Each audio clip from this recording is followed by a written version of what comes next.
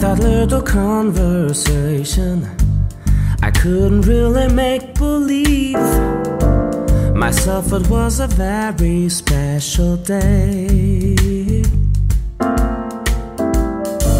Cause after we both talked together, we had something going on. There was a thing I knew that I should dare.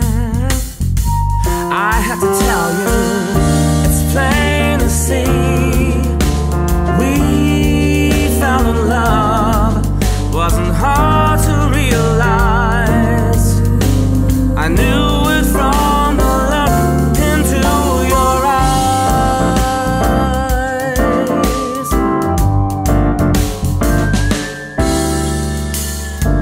Not only just ourselves took notice. My friends, they couldn't make believe themselves. We got that very special smile. Cause after we both talked together, they said it was so obvious. They said that there was something in the air.